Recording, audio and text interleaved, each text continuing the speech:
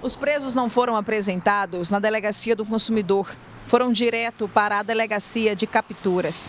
Segundo a Polícia Civil, Murilo Marques de Moraes era o cabeça da organização criminosa. Era ele quem decidia o que cada um dos integrantes faria para reduzir o preço de energia do consumidor de forma fraudulenta. Gustavo Furtado Paiva é eletricista.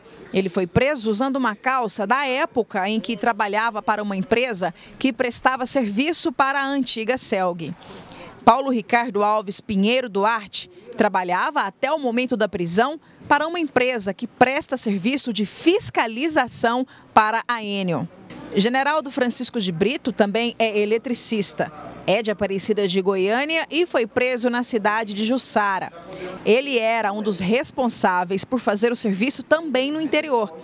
Já o Fabiano Pereira da Costa era o responsável por ir atrás de clientes. Era ele quem recebia o dinheiro e cuidava de toda a parte financeira do grupo. Ele trabalha numa empresa terceirizada que presta serviço justamente no setor de fiscalização para a Enel. Então ele ia nas, em algumas residências, chegava ao ponto de atestar que essa, essa é, residência estava vazia, né? então a conta podia ser até zerada e aí ele promovia a fraude.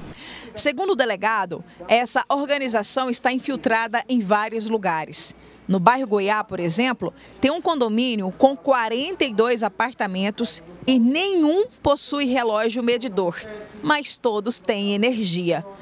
Esse caso e outros só foram descobertos por causa de uma investigação feita pela DECOM, a Delegacia do Consumidor e a SPTC, a Superintendência de Polícia Técnico-Científica, trabalho que desencadeou a Operação Energia Negativa. Peritos estão nas ruas para identificar outros relógios medidores que estão sendo fraudados. Esses equipamentos vão passar por uma perícia no Instituto de Criminalística para daí sim comprovar essas fraudes através de laudos periciais. A principal interessada em ver esses suspeitos na cadeia é a Enel.